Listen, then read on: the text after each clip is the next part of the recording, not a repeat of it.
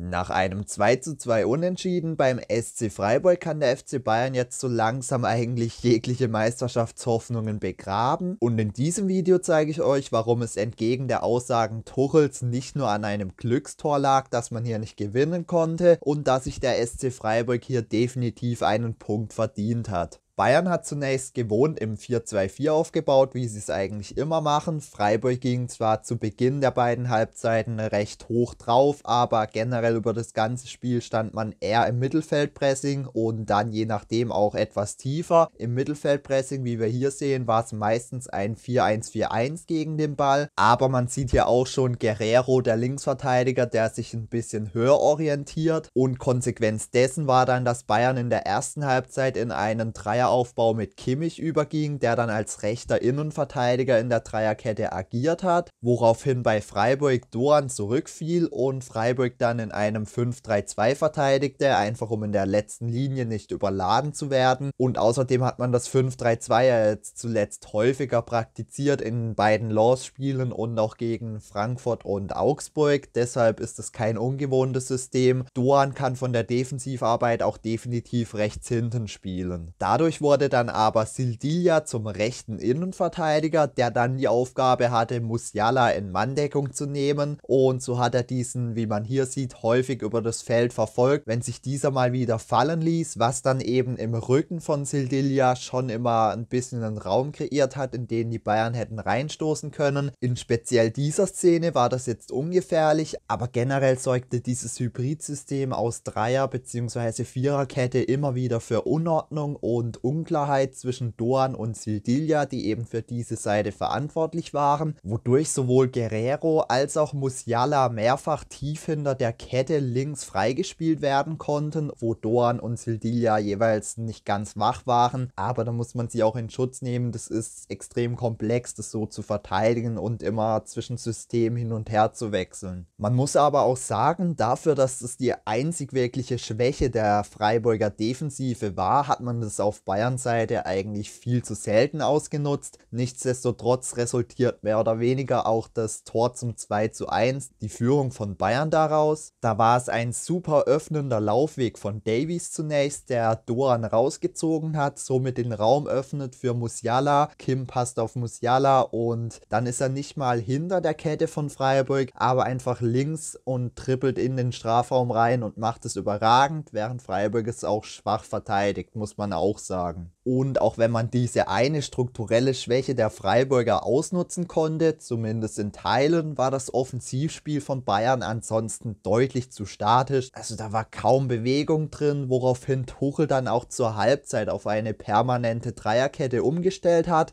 Und zwar mit Goretzka als zentralem Innenverteidiger. Dadurch war dann Kimmich auch öfters höher positioniert und nicht mehr im Dreieraufbau. Und das Ganze hat eigentlich recht gut funktioniert. Man hat mehr Chancen kreiert, ließ diese aber bis auf das Musiala-Tor ungenutzt und man ließ defensiv deutlich weniger zu, zumindest bis Freiburg dann doch nochmal kam, aber dazu dann später mehr. Also hier sehen wir es auch noch im Ballbesitz genauso eine Dreierkette wie gegen den Ball mit Goretzka zentral hinten drin und Streich hat dann darauf wiederum reagiert, hat im Mittelfeldpressing im Midblock auf ein 4-2-3-1 umgestellt. Wichtig, auch wenn ich es hier nochmal sehe und vorhin vergessen habe, Höhler, der sich vorhin als Stürmer fallen lassen hat in die Vierer Mittelfeldreihe und da immer an den Sechsern Goretzka oder Pavlovic dran war. Auch hier sehen wir ihn perfekt an Pavlovic. Der war wirklich unabhängig vom Tor gegen den Ball, wie eigentlich immer, enorm wichtig und hat er den Aufbau der Bayern enorm stören können. Im tieferen Verteidigen wurde es dann aber weiterhin ein 5-3-2 mit Doran rechts hinten, später dann mit Weißhaupt, aber der kann das genauso spielen, um halt in der letzten Linie, wie vorhin gesagt, nicht überladen zu werden. Gerade als dann später auch noch Davies auf der linken Seite bei Bayern gespielt hat. Gehen wir dazu über, wie es Bayern gegen den Ball angegangen ist und fangen da von hinten nach vorne an. So kam Bayern generell zu wenig Ballgewinnen, trotz des hohen Pressings, das man das ganze Spiel über eigentlich meistens aus ausgeübt hat, das aber fast ausnahmslos vom gewohnt starken Freiburger Aufbauspiel überspielt wurde. Und gerade mit Atubolu, der auch mit dem Ball am Fuß extrem stark ist, konnte man da immer wieder eine Überzahl gegen Bayern kreieren, die, wie wir jetzt auch in dem Bild sehen, Mann gegen Mann angelaufen sind, beziehungsweise es 1 gegen 1 über das Feld verteidigt haben. Und Freiburg konnte es dennoch gut auflösen und vor allem auch mutig. Wenn wir jetzt mal hier schauen, die Außenverteidiger sind auf beiden Seiten extrem hochgeschoben. Ansonsten hast du nur die Innenverteidiger, Torwart und die beiden Sechser im Aufbauspiel und dann eigentlich eine relativ große Lücke bis zum Rest der Mannschaft vorne. Und wenn man dann weiter vorne war, aus Freiburger Perspektive, bekamen die Bayern im 4-4-2 Mittelfeldpressing nur selten Zugriff und waren auch viel zu passiv gegen gut strukturierte Freiburger. Das möchte ich hier auch nochmal erwähnen. Hier beispielsweise des Öfteren ist Höfler abgekippt für einen Dreieraufbau. Im Mittelfeld hat man dann immer wieder Rauten gebildet. Das hat man die letzten Spiele auch gemacht. Aber da haben die Bewegungen nicht so ganz gepasst. Heute war das wirklich gut. Wir sehen hier die Raute, die Breite ist jeweils besetzt von den Außenverteidigern und symbolisch dafür ist genau diese Szene, bei der Kimmich in einer 2 gegen 1 Unterzahl ist auf der ballfernen Seite, auf die Freiburg es dann auch verlagert. Am Ende kam Günder zum Schuss. Wäre vielleicht ein Foul gewesen von Scholloy an Kimmich, aber was hier ganz klar auffällt, Müller, der in dem Fall als rechter Flügel gegen den Ball agiert, ist, wie ich finde, viel zu zentral platziert. Er müsste weiter außen stehen, um da eben Kimmich zu helfen, dass der nicht in der Unterzahl ist, weil so konnte sich Freiburg in der Szene relativ leicht eine Torchance rausspielen und grundsätzlich waren die Bayern viel zu passiv und viel zu schwach gegen den Ball in der ersten halben Stunde. Daher kommen wir jetzt natürlich auch noch zur Freiburger Führung, dem 1 zu 0 und auch da hat sich wieder das schwache Abwehrverhalten der Münchner gezeigt. Erst wird der ballferne Raum beim Einwurf erneut vernachlässigt, Höhler verlagert es dann gut auf die Seite, dann verlagert man es wieder auf die andere Seite. Grifo darf, wie wir hier sehen, unbedrängt flanken. Dyer verschätzt sich in der Mitte komplett beim Kopfball. So kommt Scholloy schon zur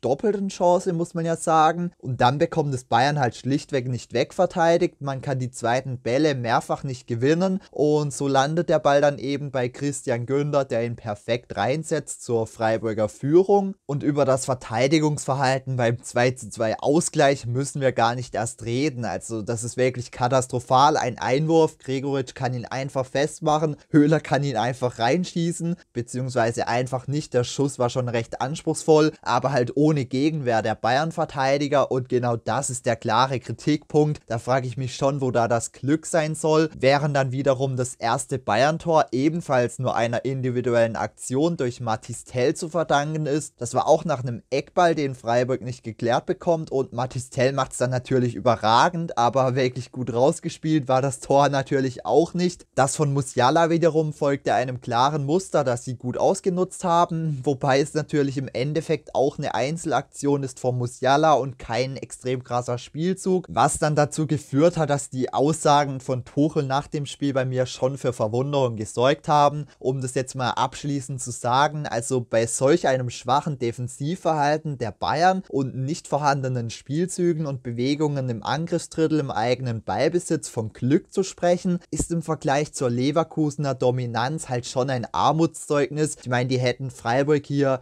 Gut, vielleicht nicht unbedingt an die Wand gespielt, aber die wären ja mit einem ganz anderen Selbstverständnis aufgetreten, hätten offensiv klar einstudierte Spielzüge gezeigt, während die Bayern knapp und recht spät in Führung gingen und es dann vielleicht gerade so noch über die Zeit hätten retten können, aber selbst wenn, wäre das wenig überzeugend gewesen. Und da ist, finde ich, schon ein klarer Unterschied zu erkennen. Selbst wenn Bayern gewonnen hätte, wäre das wenig überzeugend gewesen. Und ich finde, vor allem dann hätte man über Glück sprechen sprechen können, denn der Ausgleich war, wie ich finde, schon verdient, weil es Bayern halt so schlecht verteidigt hat, aber Freiburg hat es auch einfach gut gemacht, auch wenn in der zweiten Halbzeit eher weniger nach vorne kam. Nichtsdestotrotz ist der Punkt, wie ich finde, verdient und solche Aussagen von Tuchel sind, wie ich finde, einfach die nächste Stufe, wenn das Argument der Expected Goals nicht mehr zieht, weil sie eigentlich viel zu ausgeglichen waren, als dass man sagen könnte, dass man klar überlegen war. Das soweit meine Taktikanalyse zum Unentschieden zwischen Freiburg und Bayern. Schreibt mir gerne eure Meinung und Erkenntnisse in die Kommentare. Stimmt ihr mir zu? Seht ihr es anders? Schreibt es gerne unten rein. Falls euch das Video gefallen hat, lasst mir gerne ein Like oder Abo da, wenn ihr es noch nicht getan habt. Und dann würde ich sagen, bis zum nächsten Mal. Haut rein und ciao.